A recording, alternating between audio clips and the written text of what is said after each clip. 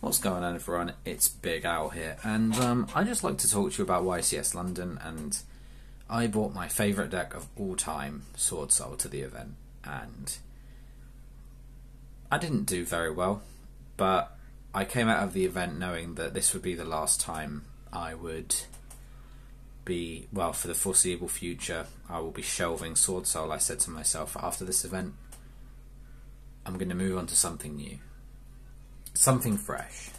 And it's a bit bittersweet for me because the YCS, as much as I love Swordsoul as a deck, it was the first big event I ever took this deck to. And my first two rounds I won.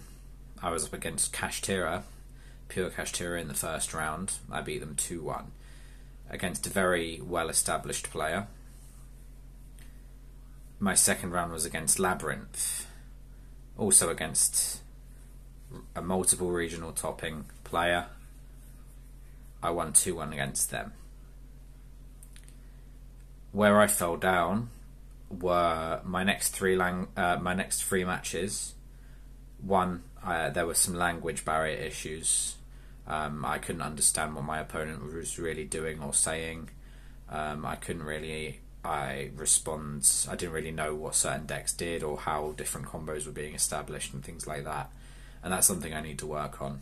Um, and yeah, I didn't pick up any wins, and uh, I dropped from the event. Um, after that, I went further in the in the event than a lot of people I know.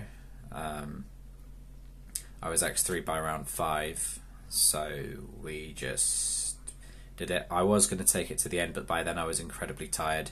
I didn't bring any food or anything, and it's important to be prepared for these events. So I'm sort of I've sort of shoot myself in the foot, but I could be like, oh, I'll give you a deck profile for this, but it's it, it like everyone knows Swordsoul. Everyone at some point got sick of Swordsoul because every Swordsoul list people were like, oh yeah, he's this three Mo Ye, two or three Ecclesia, three Ashuna, three Vishuda, two Adhara, two Taia, three Longyuan, three Emergence, one Blackout, two Chixiao, you know, double Baxia, Yang Zing, Yazi, uh, Chengying, Draco Berserker, Chao Feng, Chixiao, uh, Qixing, three Monk, Shaman, and a Baronne. Um, side deck techs, Lancea, Barrier, Evenly.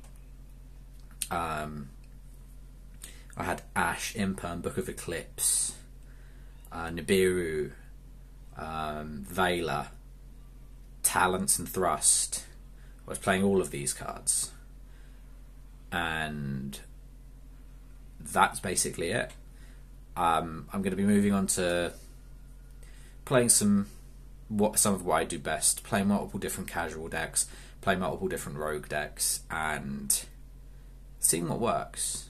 I came out of YCS happy because I knew I took my favourite deck to the biggest possible Yu-Gi-Oh event held in the UK that's only ever held once a year or so, or you know, and I can come out of that saying that you know I took this took my favorite deck to the biggest event, and I have done better in this YCS than I have done in the past.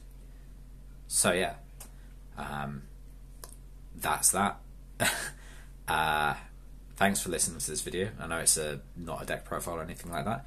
It's just my raw, unfiltered take.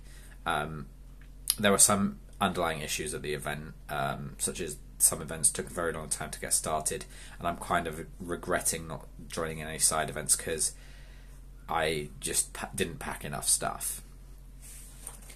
Uh, but YCS is one uh, is you know a, an amazing opportunity for Yu-Gi-Oh players, old and new, to find something about the game and just enjoy it and have a good time, and that's basically it. So thank you for listening and goodbye to Swordsoul.